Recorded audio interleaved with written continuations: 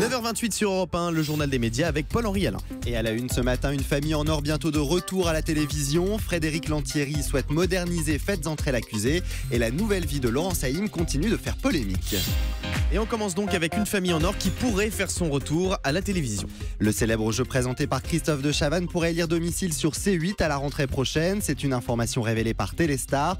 Les castings seraient même déjà en cours et ce serait toujours la société de production Fremantle qui produirait le jeu.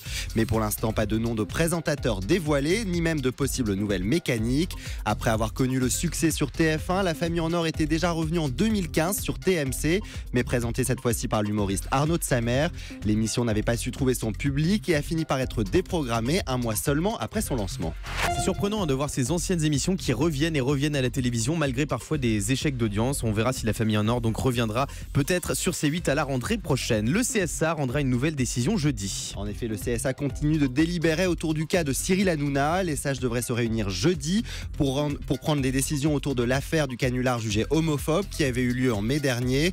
Comme nous vous le révélions en exclusivité, le rapporteur indépendant a préconisé une semaine de suspension lors d'une première audition le 19 juillet. Cyril Hanouna, soutenu par les dirigeants de C8 et leurs avocats, ont défendu leur cause. La séance avait eu lieu dans une, dans une atmosphère glaciale. Le CSA, qui avait l'air furieux, pourrait alourdir la sanction. Rendez-vous donc jeudi pour connaître le verdict.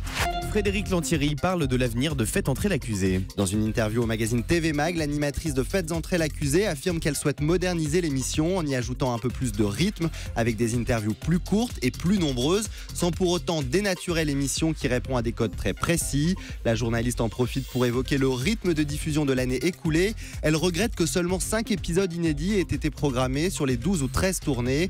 Frédéric Lantieri précise que 10 nouveaux épisodes ont déjà été commandés pour la rentrée. L'année à venir devrait donc être chargée.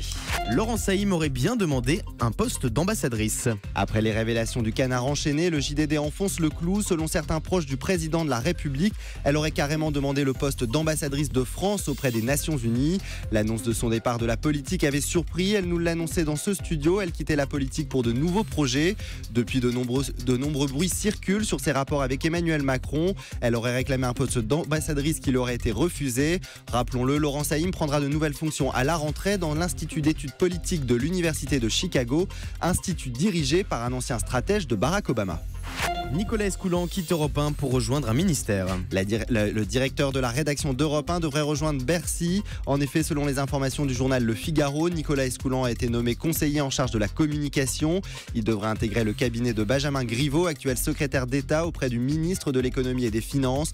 Nicolas Escoulan, en poste depuis 2013 à Europe 1, a fait ses adieux aux salariés la semaine dernière. Neuda et Ricardo, les starlettes de télé-réalité, s'expriment enfin sur les accusations de maltraitance envers leur fille. Après les blessures de leur enfant qui avait reçu un téléphone portable au visage, le jeune homme a été mis en examen pour violence volontaire envers un enfant de moins de 15 ans. Désormais, il ne peut plus voir sa fille seule. Aujourd'hui, le couple s'exprime enfin sur l'affaire dans les colonnes du magazine Public. Pour eux, il n'y avait pas de dispute, mais c'est un geste pas réfléchi, un geste anodin sans faire exprès. Alors que l'enfant était en pleurs, ils auraient ensuite appelé directement les pompiers. Le couple déclare être par la séquence qu'ils viennent de vivre et explique avoir besoin aujourd'hui du soutien de psychothérapeutes. La série Stargate pourrait bientôt faire son retour. 20 ans après son lancement, la série aura une nouvelle saison à l'automne prochain. C'est la Metro Goldwyn Mayer qui a annoncé l'information. Mais attention, pas question d'une saison ordinaire. Intitulée Stargate Origin, il ne s'agit que d'une web série, 10 épisodes de 10 minutes, diffusés uniquement en ligne. C'est un préquel, l'intrigue a lieu avant le commencement de la série. On suivra les aventures de Catherine Langford, fille de celui qui a découvert la célèbre porte des étoiles. Cette suite est une forme de cadeau pour les fans, ont précisé les producteurs. Cela devrait donc les ravir. Rappelons-le, avant d'être une série, Stargate c'était un film. En France, la série avait connu un certain succès sur M6. De nombreuses adaptations ont été créées. Même un dessin animé avait vu le jour. Et on termine avec le chiffre du jour. 3 comme trois nouveaux épisodes pour la série Alex Hugo, diffusée sur France 2 à la rentrée. Incarné par Samuel Le Bihan et diffusé depuis 2014. Les équipes sont actuellement en tournage pour de nouveaux épisodes. Pour découvrir les inédits d'Alex Hugo, rendez-vous à la rentrée. C'était le journal des médias. Merci beaucoup, Paul-Henri Alain.